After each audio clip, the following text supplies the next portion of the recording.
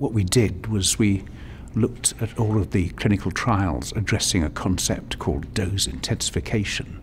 And what that means in simple terms is really cramming chemotherapy drugs in in a shorter interval. And so the average dose per week, say, is higher in the dose intensified chemotherapy. And you can do that in several ways. You can just increase the dose of the drugs, but then you have dose limiting effects. And quite a, a, good way of doing it is just to simply give the drugs every two weeks instead of every three weeks. And you're giving exactly the same drugs, the same doses, just shorter interval between the drugs, between the cycles.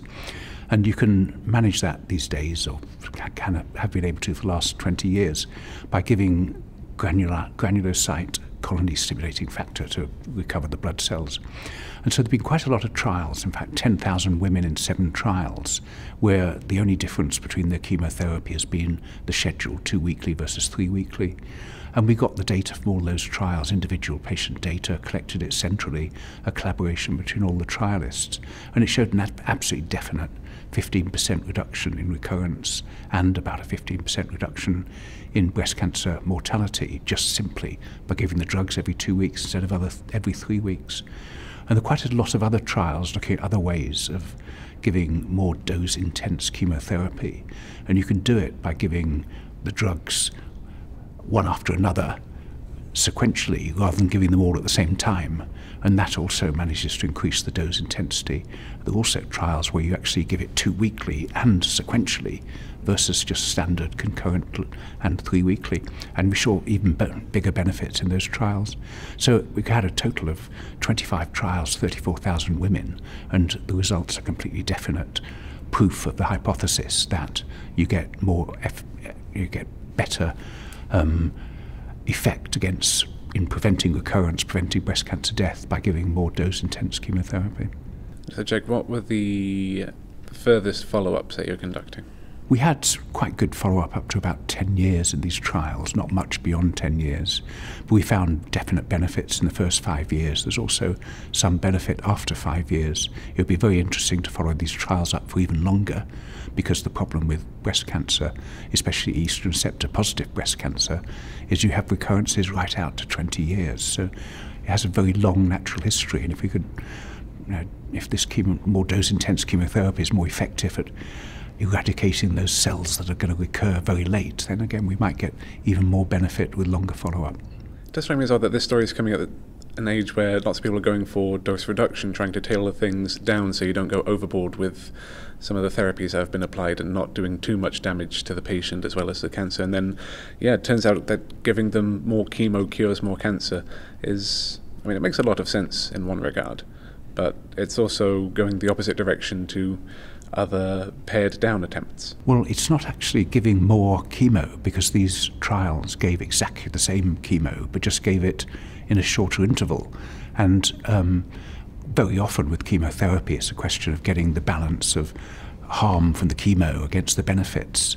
And we found, in fact, that by giving the drugs every two weeks, there wasn't that much extra chemotherapy. I was quite surprised how little extra.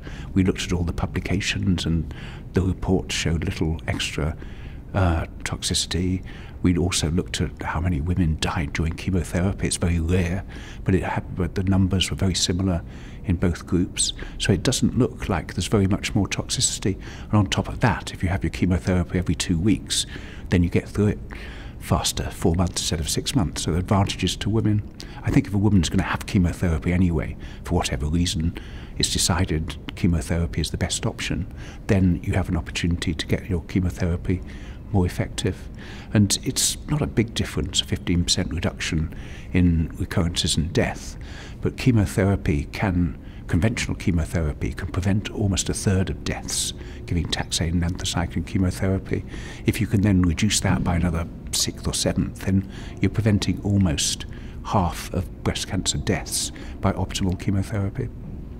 And out of the three strategies, were there any indicators of which might be best for any patient subset or for any considerations for bearing the toxicity? We did look at different types of tumour, different you know, uh, types of women, older, younger. We looked at uh, tumours that had estrogen receptors, tumours that had HER2 receptors, and we found the proportional reductions are very similar across all of these characteristics. And what that means is the results apply to almost any woman who's having chemotherapy, that giving a more dose intensive schedule is likely to improve its efficacy. Do you feel like the two weeks or in any of the intensified schedules are edging up on what you think would be the maximum tolerated dosing scheme? Yeah, this the side effects. I mean, obviously, side effects of chemotherapy are not much fun, but if you can prevent half of the breast cancer deaths, then people will put up with something for four to six months, and um, so yeah. And I think in this case that the benefits to me of chemotherapy for many women um, outweigh quite clearly outweigh the the risks and the inconvenience. Well, that covers all of my questions. Is there anything else you'd like to mention? Well, I should say the research is funded by Cancer Research UK and the Medical Research Council, and their funding has helped run this research.